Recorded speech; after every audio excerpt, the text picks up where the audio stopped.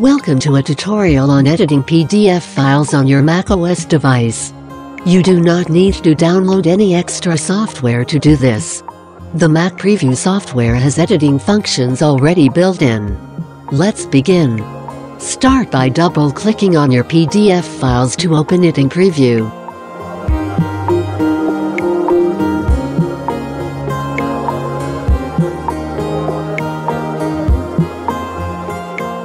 In order to begin making edits on this PDF, we need to click this toolbox button to bring up the editing tools options. Once you click the toolbox you will notice a whole bunch of options have appeared. These are what we can use for editing the PDF. I will now give a basic run through all of the options that are available in the default PDF editor for Mac. By click this button you can enter your own text on the PDF file.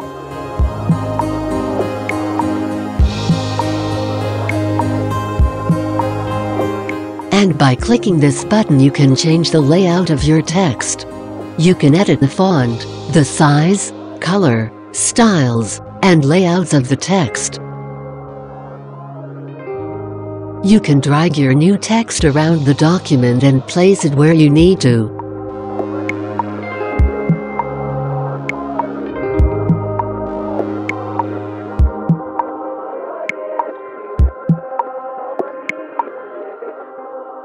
You can add all kinds of shapes, which can be used for many different things, such as hiding text and creating text boxes or data boxes.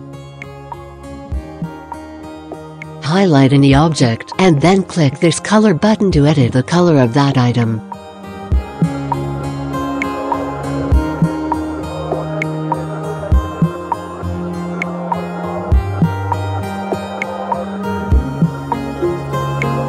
By clicking the Sign button, you can actually add your own handwritten signature to the document.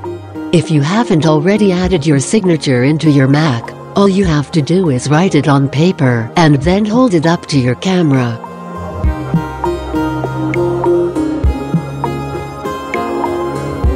These things are called notes. Double-click it to edit it. You can place the note beside relevant pieces, and when a mouse hovers over the note, it will expand showing the information inside.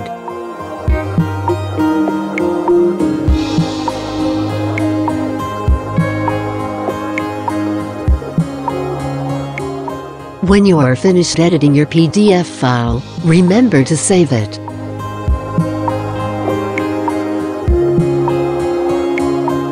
I'm now going to mess around with this calendar PDF file.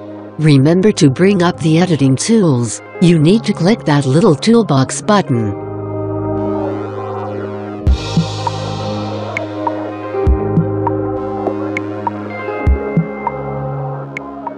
There are really no limits on how you can edit a PDF file on Mac, you just need to know what it is you want to do.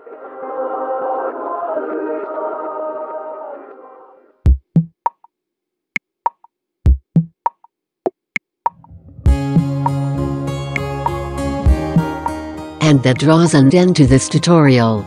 If you found it helpful, please like the video, and if you like tutorials, consider subscribing to our channel.